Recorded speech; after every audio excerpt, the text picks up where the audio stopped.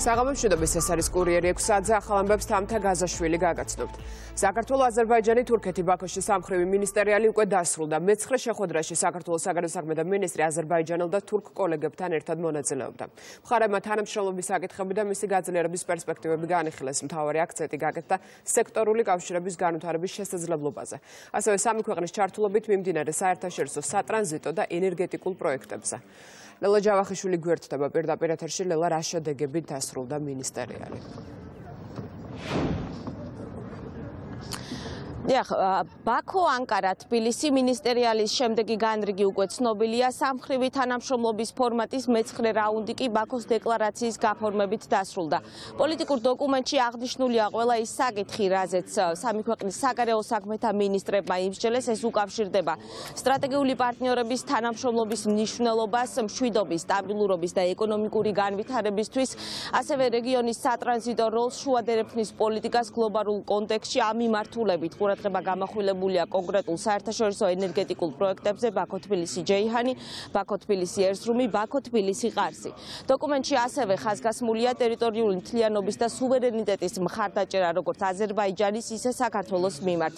მინისტერიალის ფარგლებში საქართველოს საგარეო საქმეთა მინისტრს ერთობლივი ბრიფინგის შემდეგ ჰქონდა უკვე ორმხრივი შეხვედრები აზერბაიჯანელ და თურქ კოლეგებთან, სადაც ასევე განხილული იყო ქვეყნებს შორის თანამშრომლობის დინამიკა და რეგიონისთვის სტრატეგიული საკითხი. საკითხები. ვისაუბრეთ ჩვენ იმ მნიშვნელოვან საკითხებზე, რომელიც დღეს დგას ჩვენს რეგიონში. უსაფრთხოების გამოწვევებზე, იმ შესაძლებლობებზე კიდევ ერთხელ მინდა ხაზი გაუსვა, რომელიც არსებობს, ეს არის თქვათ ბევრი კომპონენტისგან შემდგარი ეკონომიკური პროექტები რეგიონალური, შუა კორიდორის საკითხები, დერეფნის საკითხი და რაც ყველაზე მთავარია, დინამიკა მომავალში გაგრძელდება, ეს არის ერთ-ერთი მოლაპარაკებების მოლაპარაკების საგანი.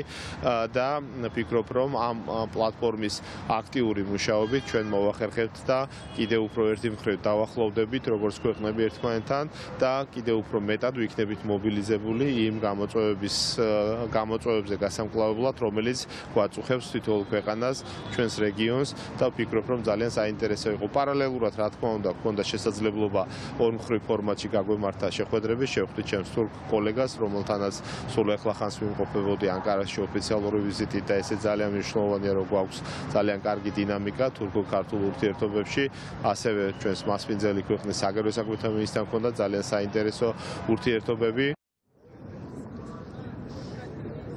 ბაქოში ხვალ პრემიერ-მინისტრის ირაკლი კობახიძის პირველი ოფიციალური ვიზიტი იწყება საქართველოს და აზერბაიჯანს შორის თანამშრომლობის საკითხები უმაღლეს დონეზე ორი ქვეყნის პირველი პირების შეხვედრაზე იქნება განხილული საქართველოს პრემიერს დაგეგმილი აქვს შეხვედრა აზერბაიჯანის პრეზიდენტთან და პრემიერ-მინისტრთან. მადლობა ეს ლელა ჯავახიშვილი იყო. საქართველოს აზერბაიჯანის და თურქეთის საგარეო საქმეთა მინისტრმა ბაქოს დეკლარაცია გააფორმეს პოლიტიკური ხასიათის დოკუმენტში ხაზგასმულია სამხრივი თანამშრომლობის მნიშვნელობა რეგიონში მშვიდობის, სტაბილურობის და ეკონომიკური განვითარებისთვის. აქცენტი კეთდება შუა დერეფნის როლსა და რეგიონის მნიშვნელობაზე. დეკლარაცია სამხრივი მინისტერიალის ფარგლებში გაფორმდა. აზერბაიჯან, გიურჯისტან, თურქია. ჩვენი დღის წესრიგი არის მრავალფეროვანი და სხვადასხვა ქვეყნებისთვის სანიმუშოა ჩვენი ურთიერთობები. პირველ რიგში უმაღლესი პოლიტიკური დიალოგი არსებობს სახელმწიფოებს შორის და მთავრობის მეთაურები მხარს უჭერენ ამას, რაც ძალიან მნიშვნელოვანია. ვისაუბრეთ სტრატეგიულ პარტნიორობაზე და რეგიონში თანამშრომლობის ფორმატებზე. გამოთქვით კმაყოფილება ჩვენი ურთიერთობების უფრო გამტკიცებისთვის. დღეს ხელს მოვაწერთ ბაქოს დეკლარაციას. კმაყოფილებით აღინიშნა, რომ ქვეყნებს შორის ეკონომიკური თანამშრომლობის დინამიკა მაღალ დონეზეა და შეესაბამება ეხება პოლიტიკურ დიალოგს. შევქმენით ეკონომიკური სამკუთხედი. ენერგეტიკულ სატრანსპორტო რუკამ შეცვალა მსოფლიო რუკა. ბაქო-თბილისი-ჯეიჰანი. ბაქო-თბილისი-ჯეიჰანი არის რეალობა და პარტნიორებს ახალ შესაძლებლობებს უხსნის. გავცვალეთ მოსაზრებები ახალ პროექტებზე და მიგვაჩნია, რომ ახლო პერიოდში ახალი სერიოზული ანონსები გვექნება ამ პროექტებთან დაკავშირებით. უნდა გავზარდოთ გეოგრაფია სატრანსპორტო კორიდორების კუთხით, უფრო აქტიურად უნდა ვითანამშრომლოთ. თვლით, რომ რეგიონში მშვიდობა და სტაბილურობა უნდა იყოს. აზერბაიჯან-გიურჯისტან თვით როგორც მოგიხსენებათ, ორმხრივ დონეზე საქართველოს სტრატეგიული პარტნიორობა და სამაგალითო ურთიერთობები აქვს როგორც აზერბაიჯანთან, ისე თურქეთთან. განსაკუთრებული ყურადღება დაუთმეთ რეგიონში მიმდინარე პროცესებს და ჩვენს ერთობლივ ძალისხმევას ამ გამოწვევებთან გამკლავების მიზნით. აღმოჩნდეთ მშვიდობის როლი რეგიონის სტაბილურობისა და ეკონომიკური განვითარების კონტექსტში. საქართველოს მტკიცედ ემხრობა სამხრეთ კავკასიაში მშვიდობიან თანაცხოვრებას და მზად არის გააგრძელოს თავისი წვლილი შეტანა რეგიონში მშვიდობისა და კონსტრუქციული თანამშრომლობის ხელშეწყობის პროცესში. ურთიერთობების განხილვის უნიკალური პლატფორმა გქონდა თბილისის შეხვედრის შემდეგ 5 წელი გავიდა. კოვიდმა ასევე უკრაინის მოვლენებმა შეაფერხა ჩვენი შეხვედრები და გამოიწვია ჰუმანიტარული კატასტროფები. რეგიონში მოხდა კარგი მოვლენებიც. აზერბაიჯანმა აღადგინა ტერიტორიული მთლიანობა. საქართველოს გახდა ევროკავშირის კანდიდატი ქვეყანა. ხარს უჭერთ საქართველოს ევროპულ მისწრაფებას. დღეს განვიხილეთ რეგიონში არსებული რეალობა. სამხრეთ კავკასია საერთო სტაბილურობის და მშვიდობის რეგიონად უნდა ვაქციოთ. მოსამართლეები, რომლებიც ვეტინგის სისტემას ემხრობიან მედიასთან დამატებით კომენტარს არაკეთებენ ოპოზიციის და არასამთავრობო სექტორის მოთხოვნას კეთილსინდისიერების შემოწმებასთან დაკავშირებით ხუთი მოსამართლე იზიარებს. ნინო ბაქაკური, ეკატერინე გასიტაშვილი, მადონო მაისურაძე, კეთი მესხიშვილი და მამუკა ციკლაური მზადარიან სისტემის კეთილსინდისიერება უცხოელმა სპეციალისტებმა შეამოწმონ. მოსამართლეთა ამ გადაწყვეტილებას ოპოზიციის ნაწილი იწონებს, საპარლამენტო უმრავლესობაში კი აცხადებენ, რომ ხუთი მოსამართლე ნაციონალური მოძრაობის კლანის წევრია და ისინი მესამე სექტორის გავლენის ქვეშ არიან. განცხადება ხდება გავრცელა 12-მა არასამთავრობო ორგანიზაციამ, რომელიც ხელისუფლებას მოუწოდებს განსხვავებული აზრის მქონე მოსამართლეების დისკრედიტაციის კამპანიას შეწყვეტოს.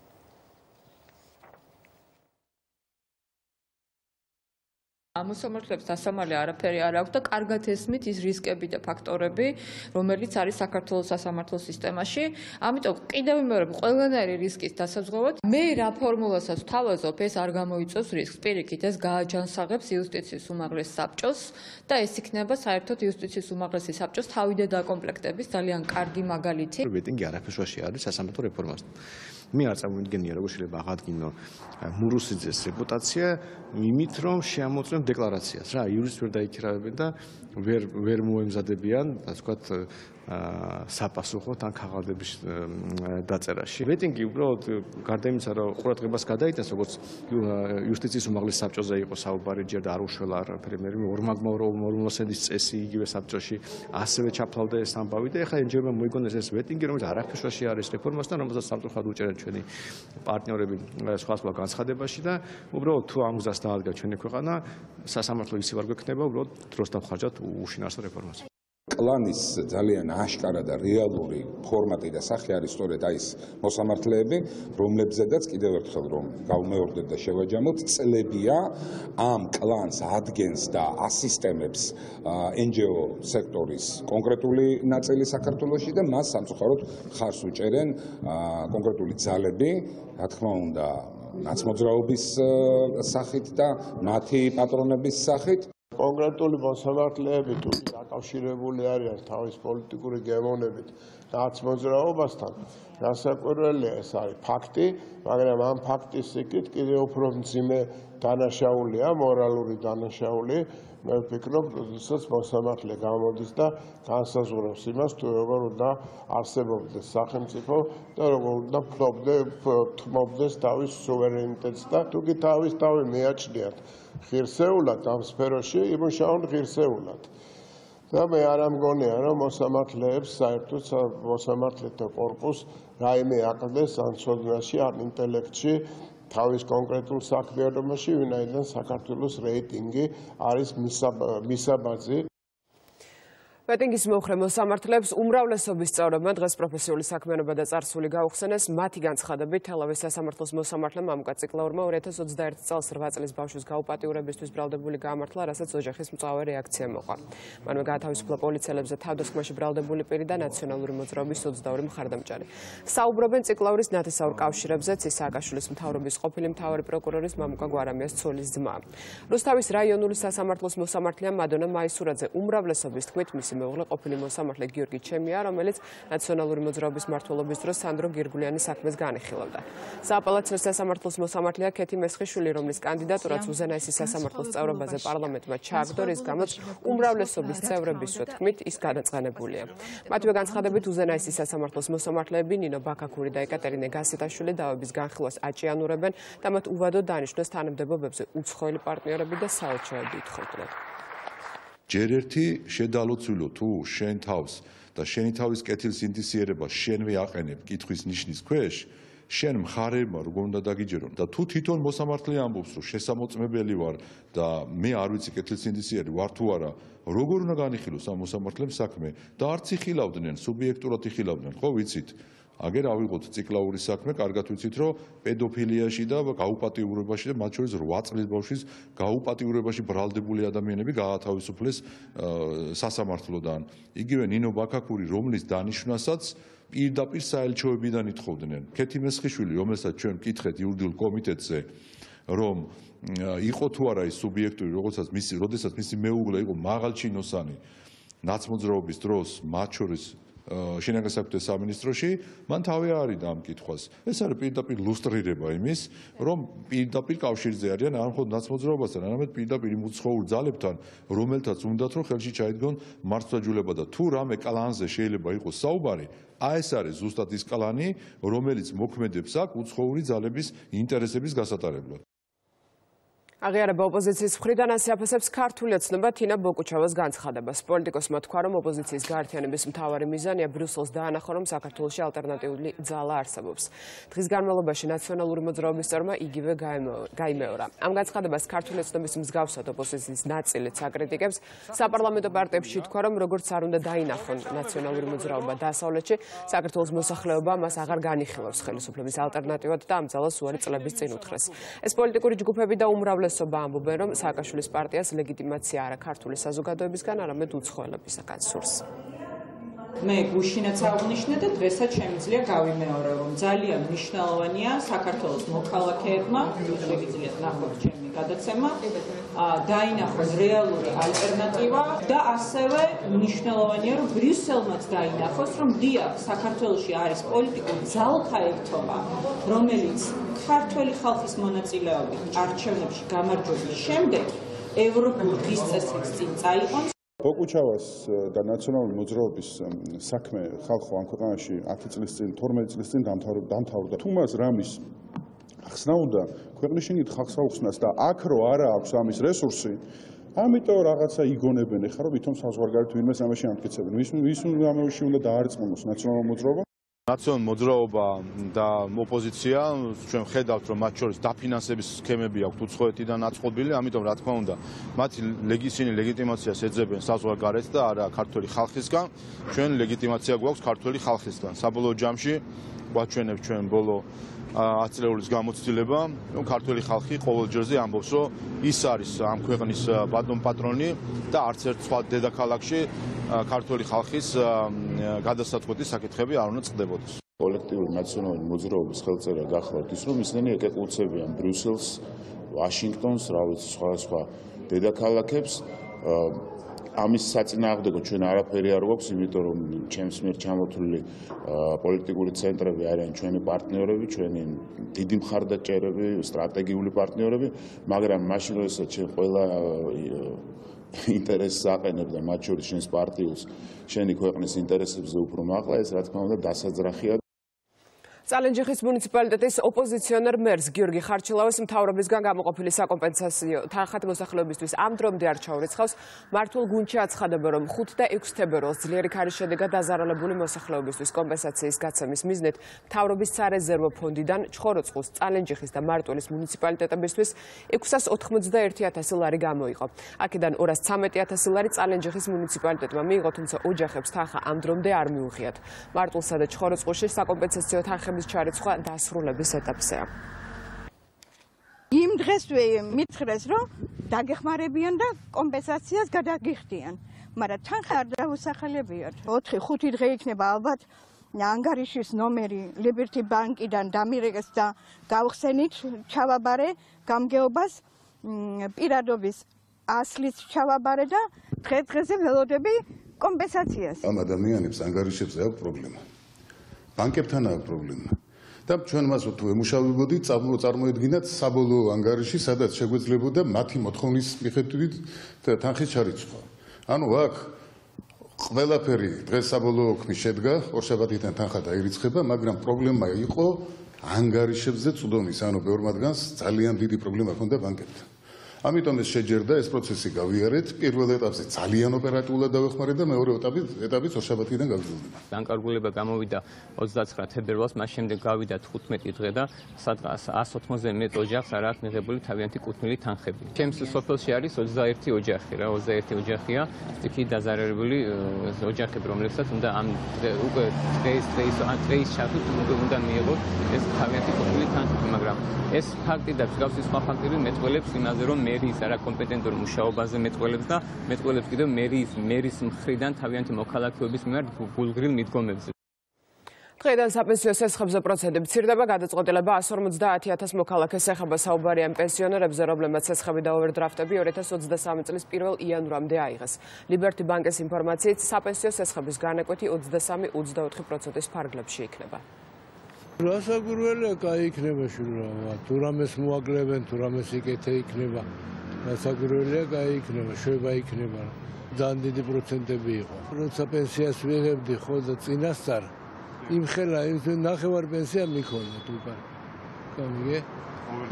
ხო. ნუ თეთვეზე ორ თვეზე სამ თვეზე. რაღაცა მიქონდა დიდი პროცენტები. რასაც კარგს იზამენ? რაჯობია იმას. პენსიონერისთვის მაღალ პროცენტი, მაღალ რა დიდი თანხას ვერ აიღებენ, ხო? უნდა შევცირდეს პატარა პროცენტი თანხებზე. ძალიან კარგია თუ რამეში მოეხმარებით პენსიონერები ძალიან კარგია. დღეიდან ჩვენ 150000-ზე მეტ მომხარებელს, ვისაც სოციალური სარგოს ქვეშ ჰქონდა 2023 წლის 1 იანვრამდე აღებული კრედიტი, გაუმჯობესდება და შეუმცირდება საპროცენტო განაკვეთები. ამ მომხმარებლებს ავტომატურად ბანკში მოსვლისა და ყოველგვარი დამატებითი პროცედურების გარეშე აესახებათ ეს ცვლილებები გრაფიკში და საპროცენტო განაკვეთი ამ სესხებზე განისაზღვრება არაუმეტეს 24.9%-ისა. მნიშვნელოვანია, რომ პოზიტიური მოვლენების ჯაჭვი გრძელდება ლიბერტის უახლეს ისტორიაში. სოციალური მომხარებლებისთვის ეს უკვე მეექვსე შემთხვევა არის, მეექვსე პრეცედენტია პროცენტის კლების. მნიშვნელოვანი და აქტიური კომუნიკაცია მიმდინარეობდა მათ შორის ბანკთანაც. რა ნაწილში ბანკის გადაწყვეტილებით დღეს უკვე ყველა იმ პენსიონერს, ვისაც 2023 წლის 1 იანვრამდე აქვს ცესხი აღებული, შეუმცირდება საპროცენტო განაკვეთი. პროცენტულ ჭრილში ეს დაახლოებით აძლევს 7%-იან სხვაობას ცესხზე. რაც შესაძლოა ყოველთვიურ შენატანში, თქვა, ცალკეული პენსიონერისთვის ერთი თვის ჭრილში არ იყოს თქვა მოცულობით დიდი თანხა, მაგრამ ჯამურად გადასახდელ ჭრილში, ასე ვთქვა, ინდივიდუალური პენსიონერისთვისაც მნიშვნელოვანია. ნებისმიერი პენსიით გაცემულ სესხზე, მათ შორის ოვერდრაფტიც არის შინაარსობრივად იგივე სესხი უბრალოდ განსხვავებული გრაფიკი აქვს, შესაბამისად, მათზეც გავრცელდება ეს შეღავათი. პრემიერ-მინისტრის საერთაშორისო სავალუტო ფონდის მისიის წარმომადგენლებს შეხვდა ადმინისტრაციის ცნობით შეხვედრაზე საუბარი ქვეყანაში არსებულ ეკონომიკურ ტენდენციებში, ეხო განიხილეს მიმდინარე წლის ბიუჯეტის შესრულების დინამიკა და საშუალო ვადიანი პერიოდის პროგნოზები. აღნიშნა, რომ პანდემიის და გეოპოლიტიკური ვითარების მიუხედავად თანმიმდევრულმა ფისკალურმა პოლიტიკამ დადებითი შედეგი მოიტანა ყველა სექტორში. ისაუბრეს ძირითად მაკროეკონომიკურ ტენდენციებზეც, აღნიშნა, რომ გასულ წელს საშუალო ეკონომიკური ზრდა იყო 7.5%, ხოლო 2024 წელს იანვრის წინასწარი მონაცემების თანახმად 5.8%-ით გრძელდება. იქამდე ირაკლი კობახიძე საქართველოსი ნორვეგიის სამეფოს შეხვდა ადმინისტრაციის ცნობით საუბარი იყო ორმხრივ ურთიერთობებზე აღინიშნა რომ ნორვეგია საქართველოს მეგობარი ქვეყანა და სანდო პარტნიორია. კანიხილეს ქვეყნებს შორის თანამშრომლობა პოლიტიკის, ეკონომიკის, ვაჭრობის, თავდაცვის და უსაფრთხოების სფეროებში აქცენტი გაკეთდა. ნორვეგიის მხარდაჭერით განათლების სფეროში განხორციელებულ პროექტებზე, ასევე ნაყოფიერ თანამშრომლობაზე კულტურული მემკვიდრეობის დაცვის კუთხით. ქვეყნებს შორის არსებული კავშირები და სამომავლო თანამშრომლობის გაღრმავების პერსპექტივები განიხილეს პრემიერმა და ნიდერლანდების ელჩმა. აღნიშნა ნიდერლანდების სამეფოს მტკიცე პოზიცია საქართველოს ტერიტორიული მთლიანობისა და სუვერენიტეტის, ასევე ევროინტეგრაციისადმი. ირაკლი კობახიძემ ნიდერლანდების მხარეს მადლობა გადაუხადა კანდიდატის სტატუსის მინიჭების პროცესში საქართველოს მხარდაჭერისთვის. ასევე ორმხრივი თანამშრომლობა იყო მთავარი თემა ირაკლი კობახიძის და არაბთა გაერთიანებული საამიროების ელჩის შეხვედრაზე ადმინისტრაციის ცნობით აქცენტი გაკეთდა თანამშრომლობაზე სავაჭრო ეკონომიკურ სფეროში.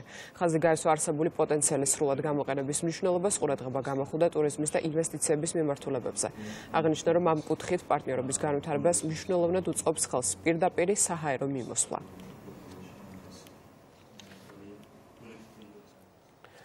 პარლამენტის თავმჯდომარე ლიხტენშტაინის სამთავროს პრემიერ-მინისტრს შეხვდა ოფიციალური ინფორმაციით შალვა პაპაშვილმა ხაზი გაუსვა სამთავროში პირველი ოფიციალური ვიზიტის მნიშვნელობას და ლიხტენშტაინის მხარეს მადლობა გადაუხადა საქართველოს ტერიტორიული მთლიანობის მტკიცე მხარდაჭერისთვის.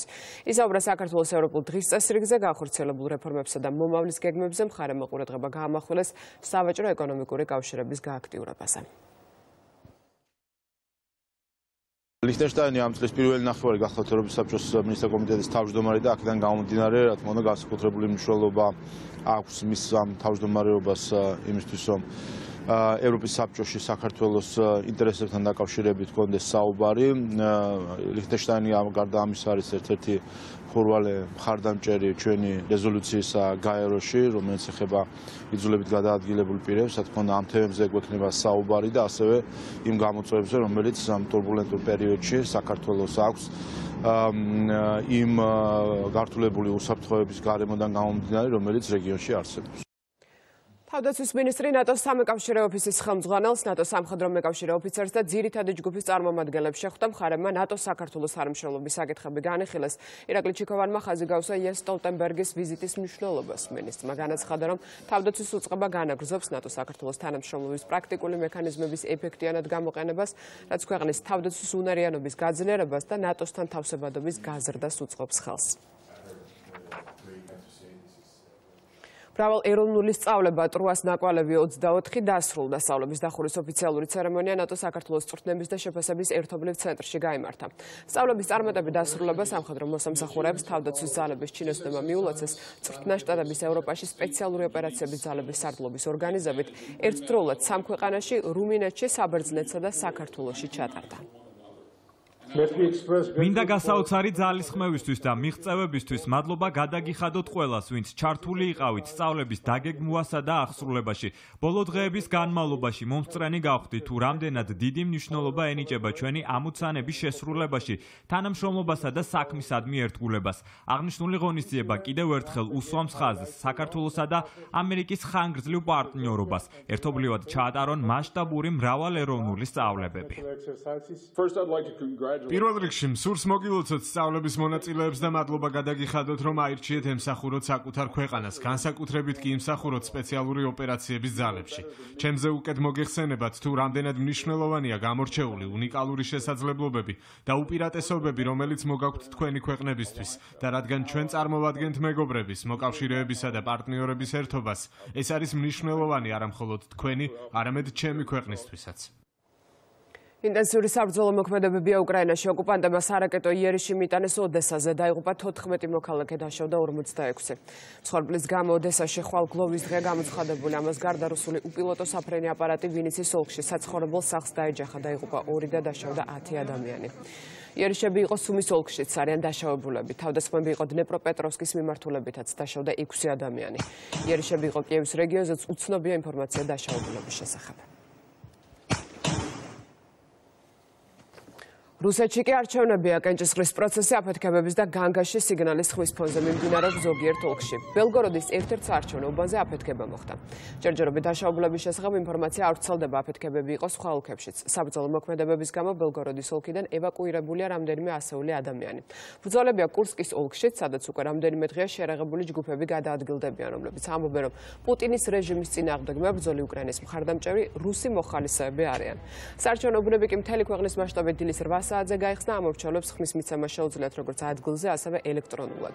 არჩევნებში სულ 4 კანდიდატი მონაწილეობს, მათ შორის არის მოქმედი პრეზიდენტი. კანდიდატებიდან არც ერთი არ ეწინააღმდეგება ომს უკრაინაში და არც ერთი არ უპირისპირდება პუტინს. კომისიამ კანდიდატად არ დაარეგისტრირა მსურველები, რომლებიც რუსეთს უკრაინაში შეჭრისთვის აკრიტიკებენ. 71 წლის პუტინი რუსეთს 24 წელია მართავს და პრეზიდენტად დარჩენას კიდევ 6 წლით აპირებს. არჩევნები რუსეთში 3 დღის განმავლობაში გაგრძელდება და მასში მონაწილეობას 112 მილიონზე მილიონზე მეტი ამორჩეველი მიიღებს, მათ შორის უკრაინაში ოკუპირებული ყირიმის, დონეცკის, ლუგანსკის, ზაპოროჟიეს და ხერსონის მოსახლეობაც. შეერთებული შტატები გმობს რუსეთის მცდელობებს შეარყიოს უკრაინის სუვერენიტეტი, ტერიტორიული მთლიანობა და პოლიტიკური დამოუკიდებლობა უკრაინის ოკუპირებულ ტერიტორიებზე ყალბი არჩევნების ჩატარების გზით.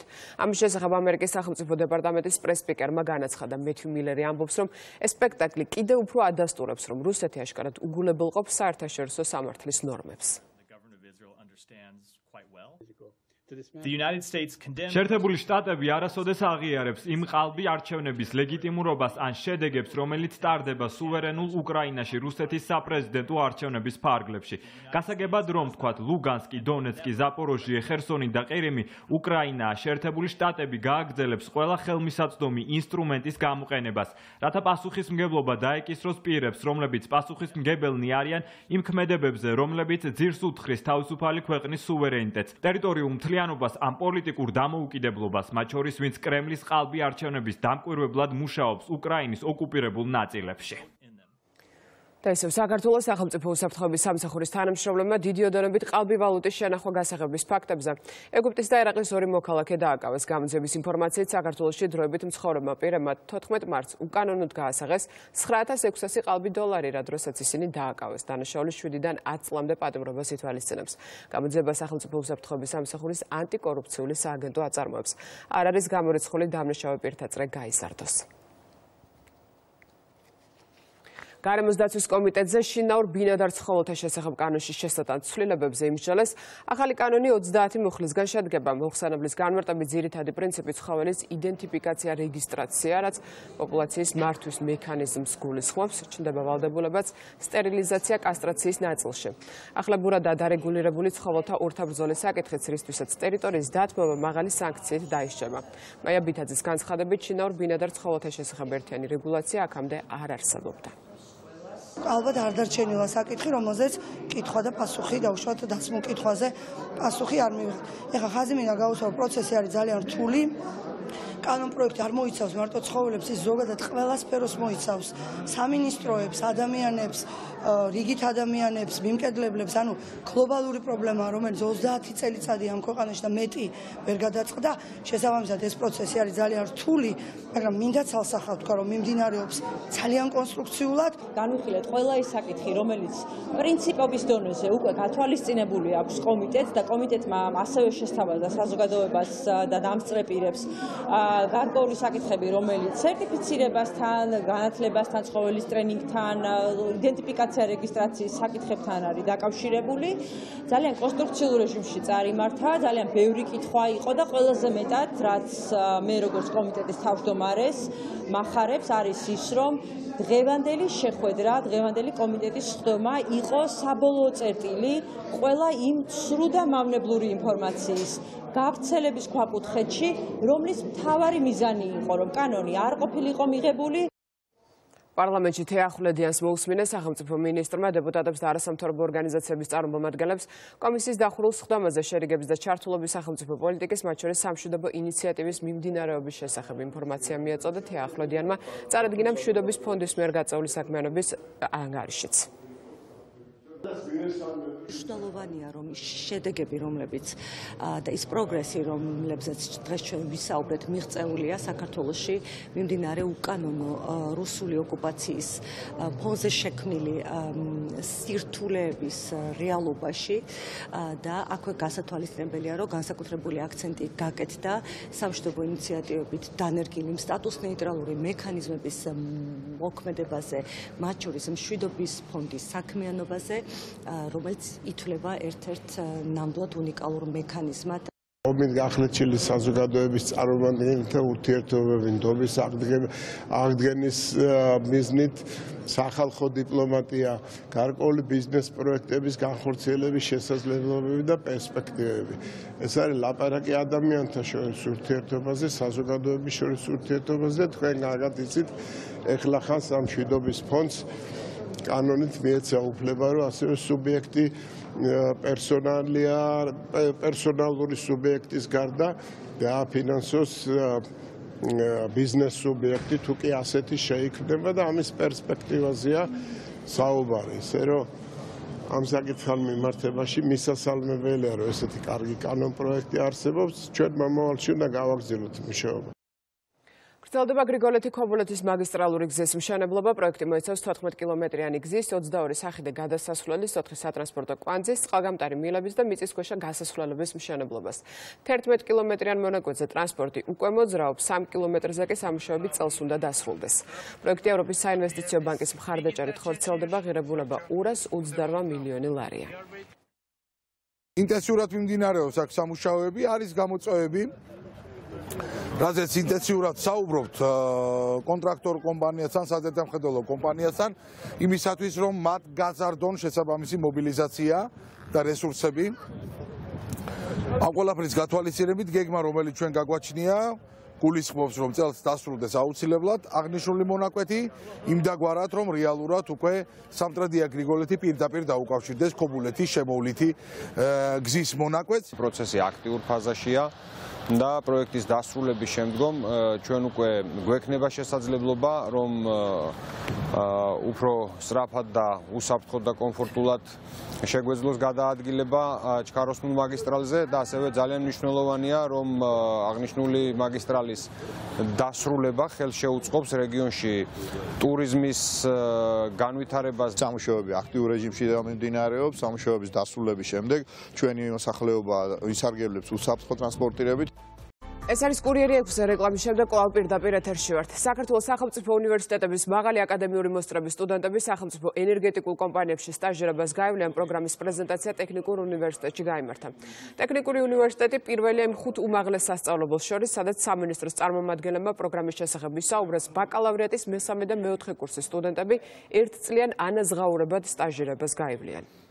აღნიშნული მემორანდუმი ითვალისწინებს ანაზღაურებადი სტაჟირების შესაძლებლობას და სტუდენტებს, რომლებსაც ექნებათ მაღალი აკადემიური მოსწრება, მიიღებენ შესაძლებლობას, რომ გაიარონ ანაზღაურებადი სტაჟირება საქართველოს ენერგეტიკულ საწარმოებში.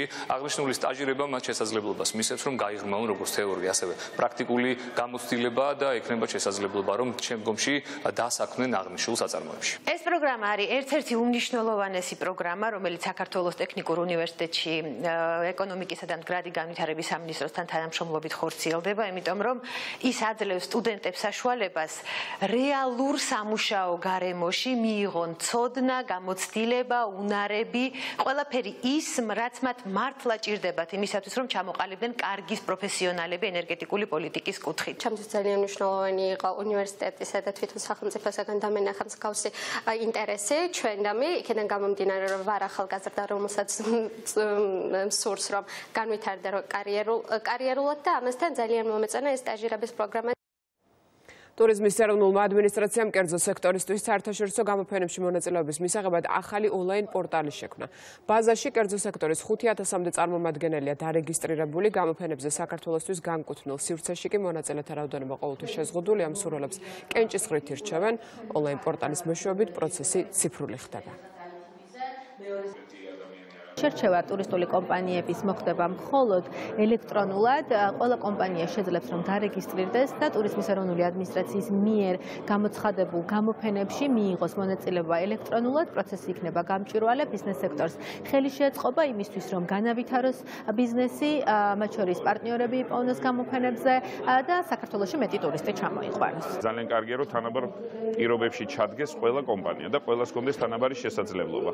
მათ შორის დამწყებებსაც, დიდ კომპანიებსაც კომპანიებსაც თუ ყველანი ოფიციალურად და ლეგალურად მუშაობენ, ასე ვთქვათ, მაშინ წესთ არავის არ უნდა გაუჭირდეს. რა კონტრიბუციას ვაკეთებთ ქვეყნის ბიუჯეტში? ეს არის ძალიან სწორი მიდგომა, იმიტომ რომ ეს ძალიან ბევრ რაღაცას გამოაჩენს და გაცხრილავს მათ შორის ესე ჭრდილოვან ეკონომიკას რეალურად რაღაცა გარკვეულ ბარიერებს შეუქმნის და ეს ძალიან კარგია, იმიტომ რომ მე თუ მინდა ვისარგებლო სახელმწიფოს კონტრიბუციით, ამ მეც უნდა შევიტანო სახელმწიფოში რაღაცა კულტურის მინისტრმა 4 ახალი კონკურსი გამოაცხადა ამ შემთხვევაში საუბარი ეხება კერძო და მუნიციპალური სახელოვნებო საგანმანათლებლო სასწავლებლების და მათი პროექტების ხელშეწყობაზე, საჭირო წიგნის ფონდის განახლებაზე, ასევე სახვითი და გამოყენებითი ხელოვნების წიგნების გამოცემაზე საკონკურსო განაცხადების მიღება დღეიდან დაიწყო და 25 მარტამდე გაგრძელდება. პირველი კონკურსი გახავთ ძალიან მნიშვნელოვანი იმ გაგებით, რომ საიუბილეო თარიღებს ეძღვნება და გულისხმობს საიუბილეო წიგნა ალბომების ან საბეჭდათ მომზადების დაფინანსებას ან უკვე გამზადებული ფაილების ბეჭდვა გამოცემის დაფინანსებას ან ამგვარი დაფინანსების ხელშეწყობას. მეორე კონკურსი ძალიან პოპულარულია გასაგები მიზეზების გამო ჩვენი ქვეყნის სამუსიკო სასწავლებლებში და ის ეძღვნება ამ სასწავლებლებში ინსტრუმენტების განახლების ხელშეწყობას. მესამე კონკურსი, რომელიც დღეს ხადდება, ეძღვნება სახელოვნებო განათლების ხელშეწყობას, კერძოდ კი ამ პროცესისათვის, გასაგანმანათლებლო პროცესისათვის საჭირო ციგნადი ფონდის განახლების ხელშეწყობას. მეოთხე კონკურსი, რომელიც დღეს ცხადდება, მიძღვნილია სახელოვნებო სასწავლებლების ხელშესაწყობად, მაგრამ მნიშვნელოვანი ის გახლავთ, რომ ჩვენთვის მომართვის უფლებამოსილება ექნებათ ამ კონკურსის ფარგლებში, როგორც კერძო, ასევე მუნიციპალურ სასწავლებლებს.